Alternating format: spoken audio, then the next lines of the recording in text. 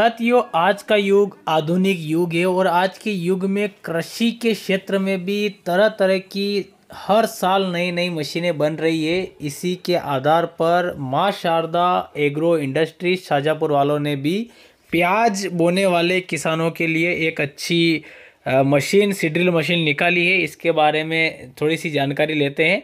तो देख सकते हैं किस प्रकार से तो ये काम कर रही है। बिल्कुल ये चेन लगी है। चेन के ऊपर जो कटोरी लगी है, इनमें एक एक कांदी को ये ले रही है और बिल्कुल कतार वाइज यहाँ पर बोते जा रही है, क्योंकि इसमें आधुनिक तरीके से गियर लगे हुए हैं।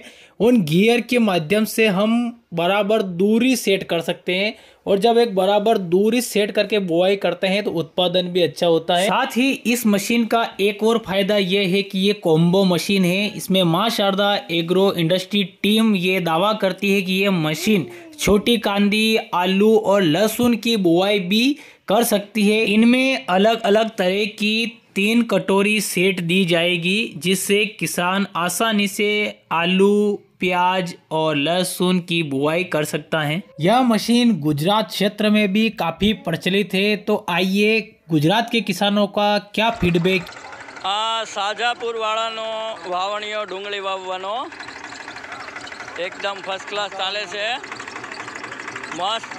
કેમ ચાલે છે પટેલ રેડી ફર્સ્ટ ક્લાસ ચાલે છે. સાજાપુર વાળાનો વાવણીઓ છે. એકદમ ફર્સ્ટ ક્લાસ પાળા વ્યવસ્થિત થાય છે.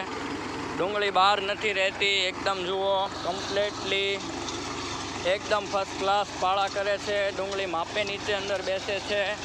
એકદમ ટોપ એકદમ સારી રીતે ઉપાડે પણ છે. ચક્કર બક્કરનું કામ જુઓ કેટલું મસ્ત છે આમાં. એકદમ ટોપ